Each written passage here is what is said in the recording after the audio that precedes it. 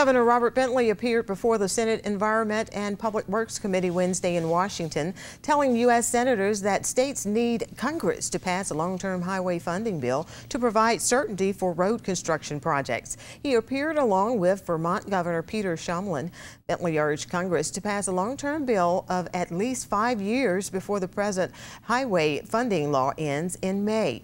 Bentley said he would support projects of regional or national interest competing in a separate category category for funding. He said an Interstate 10 bridge at Mobile would fit in that category.